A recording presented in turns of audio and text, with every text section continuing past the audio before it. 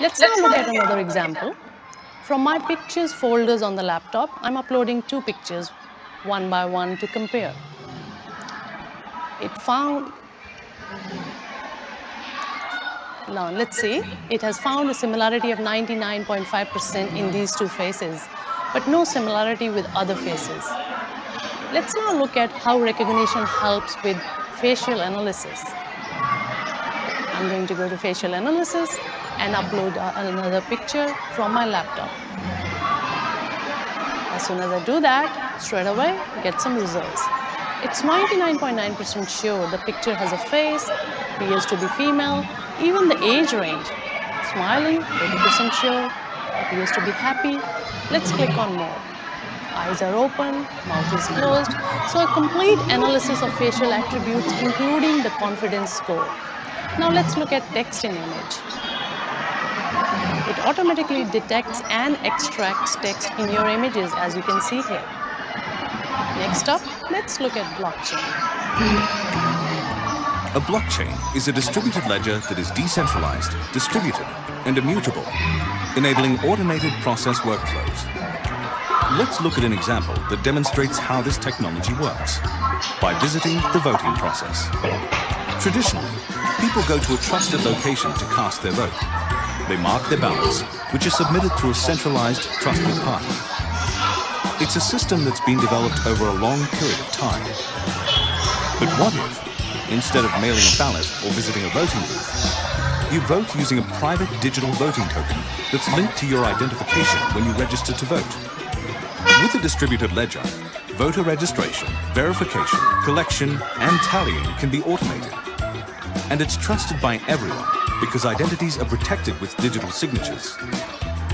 The ledger is shared across multiple parties, and any changes made must be agreed upon by all.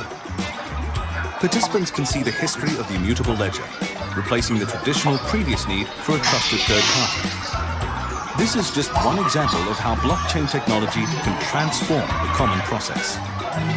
So how can building a blockchain on AWS be beneficial? You can build a superior blockchain solution by using AWS APIs and service integrations. Just like with a database, you can use the wide range of AWS capabilities to perform various functions on a blockchain. For example, technically savvy voters could incorporate AWS analytics services to gain insights to what is taking place on a blockchain. They could also create live streaming visualizations of how each group is voting across a geographic area Give your blockchain superpowers AWS. Blockchain technology is well suited for complex workflows that span multiple organizations. Some of you might be familiar with different implementations of blockchain. Possibly one of the most significant or recent implementation of blockchain is Bitcoin or Ethereum. But blockchain can actually be used in a variety of other applications too. And if you're not familiar with blockchain as a concept here, blockchain makes it possible to build applications where multiple parties may need to exchange transactions and maybe there isn't a central authority in that situation. Here we are dealing with notion of decentralized trust. But today, in order to use blockchain in a variety of different applications, it's actually pretty difficult to get started building a scalable blockchain network with existing technologies is complex and hard to manage. There are a couple of things that each of the network members in the blockchain or those who participate in the blockchain needs to do. One is manually provisioning hardware, then installing the software, knowing what is the right version of the software that needs to be implemented, and also keeping those things up to date creating and managing certificates for access control to the blockchain, and then configuring network components. None of these are insignificant, especially for something as complex as a blockchain, it cannot be easily implemented. Let's look at some example use cases for blockchain here. Shipping. Blockchain can be used to ensure the entire history and the integrity of that history of a shipped item as it's moving from one country to another and going through that entire shipping system all the way through to delivery. We can ensure the integrity of that item. from raw sourcing all the way through to delivery, we can independently audit and verify the entire journey too to make sure that the item that was shipped, where it originated from, the item that we are receiving with a certain degree of confidence.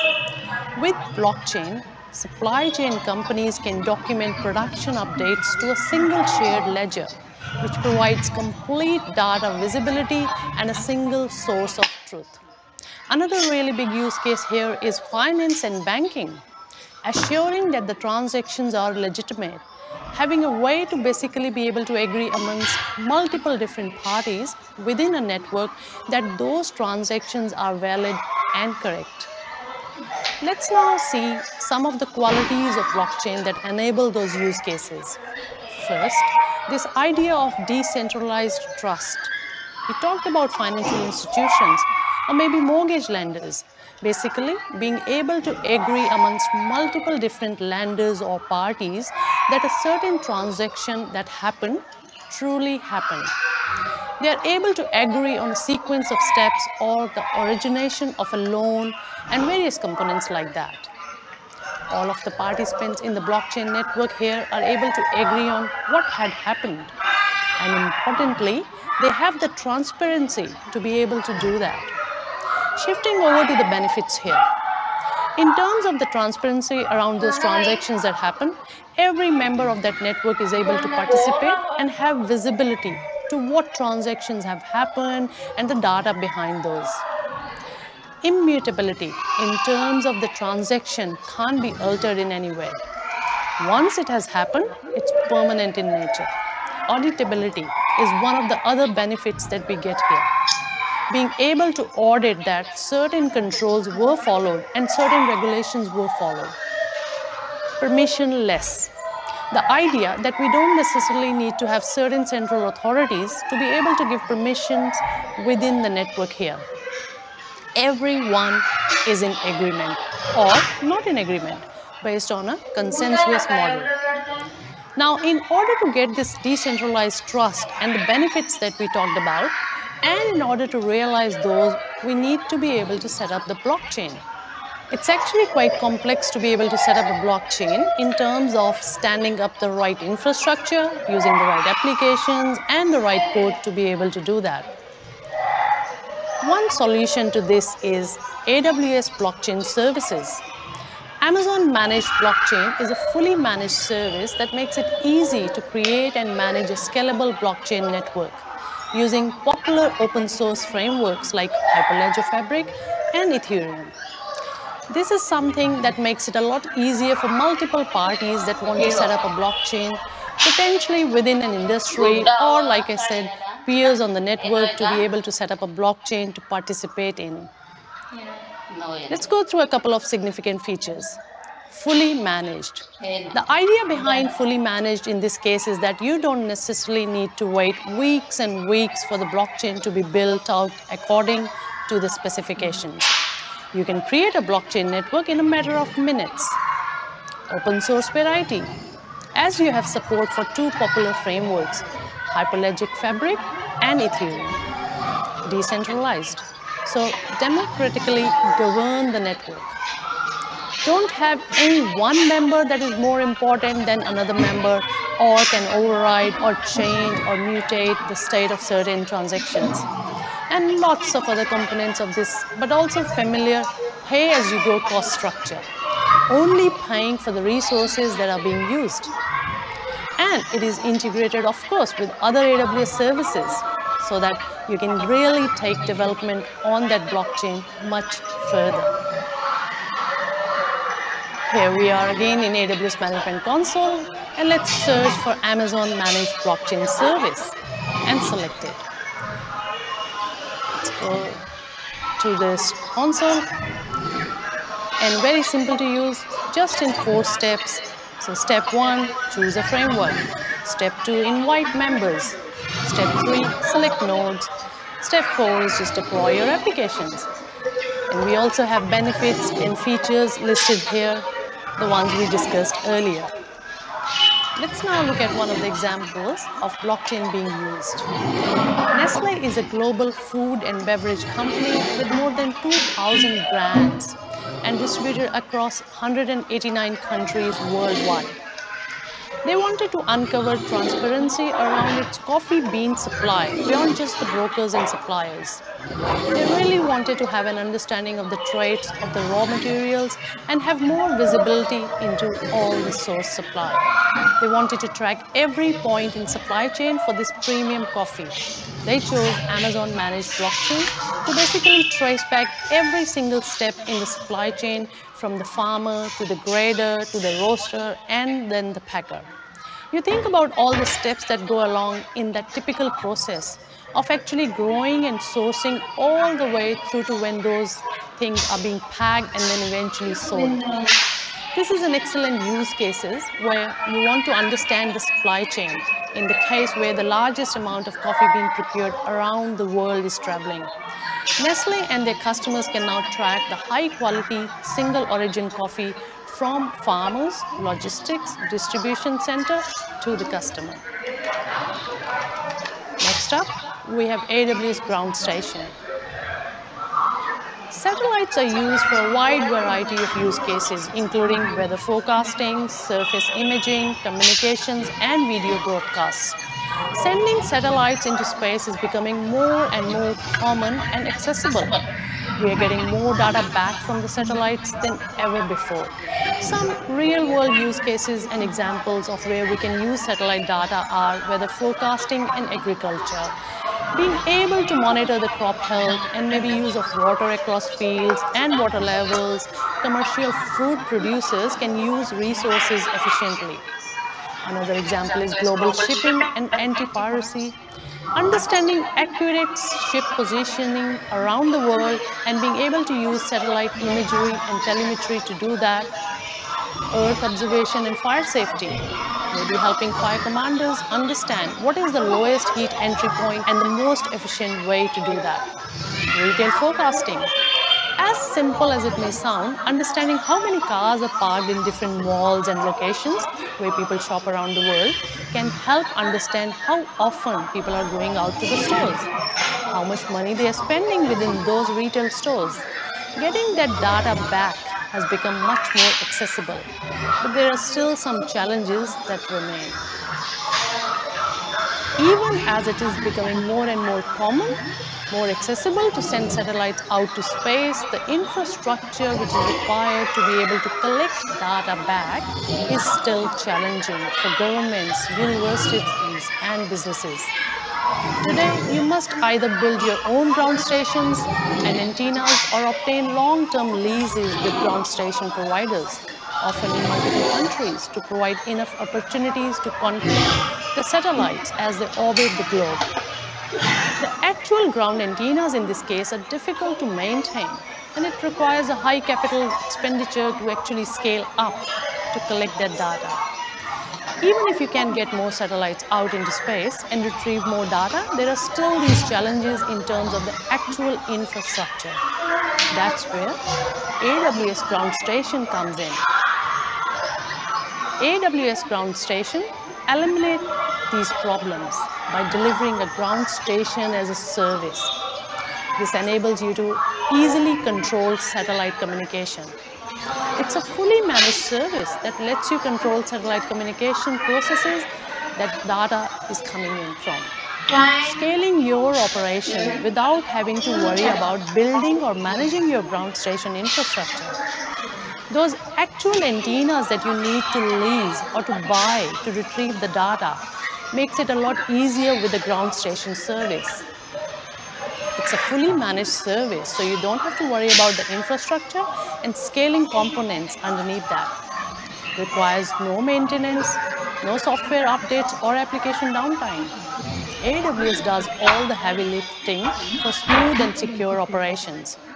Pay-as-you-go pricing, pretty incredible.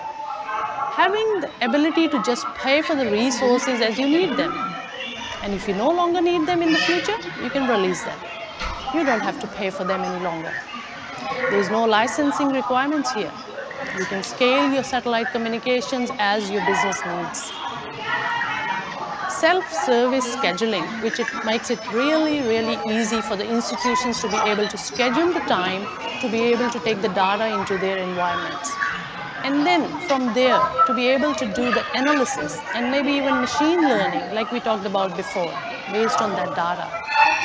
We get near real-time data delivery, really fast delivery of the data so we can analyze it again very, very quickly.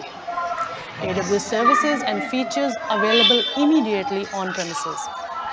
It enables single code base, deployment pipelines, and single point of control. Next up, we'll talk about AWS Wavelength. Let's first discuss a couple of drivers for AWS Wavelength. With the advancement of onboard capabilities for many mobile devices, sensors, like I mentioned before with IoT, video cameras, and many other devices are generating large volumes of data, often needing to either compute or process their data very close to the point of data generation. There's a need to essentially have more infrastructure behind the scenes ready to be able to process that data locally much more quickly. There's another driver here in terms of 5G and mobile edge computing. 5G proliferation for the next four years, it's projected that billions of mobile subscribers are going to be on 5G or 5G ready equipment. We have new use cases like cloud gaming, video streaming, IoT, connected vehicles, and other applications. And then finally, mobile edge computing. Certain applications like games demand requirements like low latency and local processing on those mobile edge computing devices. These drivers are some of the reasons for need for a product like AWS Wavelength.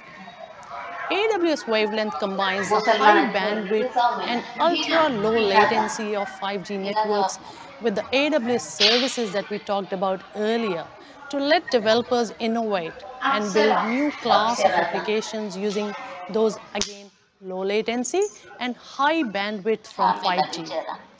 Essentially, we have scalable capacity within the communication service providers or CSP within those data centers that are managed and supported by AWS.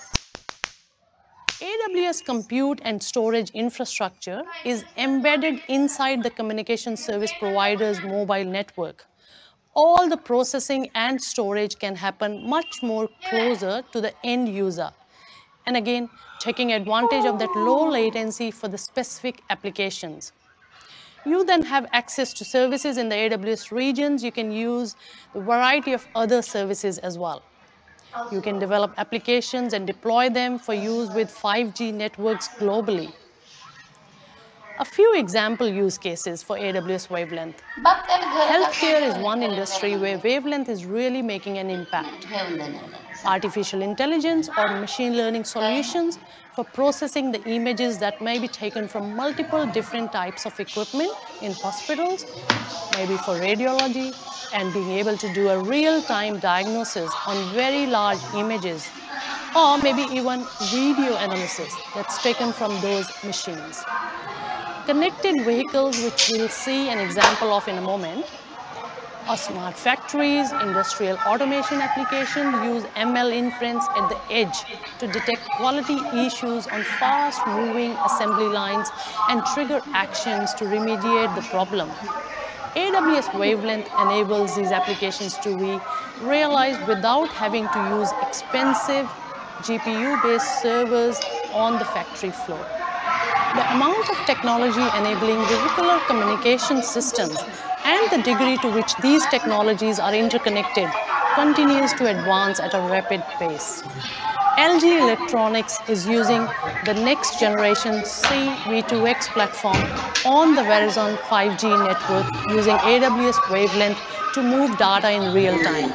It uses AWS Wavelength for low latency, high throughput for connected vehicles. You might have autonomous or connected vehicles that need to be able to send large volumes of data, potentially stream it in real time and process that data very, very quickly with low latency and get either decisions or data points back to those vehicles. over the 5G network without having to go all the way back to the regions. Excellent use case for something like AWS Wavelength. This concludes the module Innovation with AWS.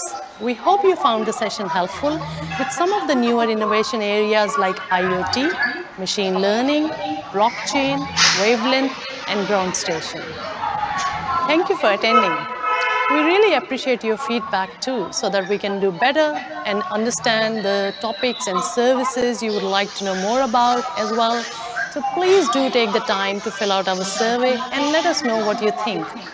And with that, I just want to thank you so much for joining us today at Awesome Day Online Conference. Thank you.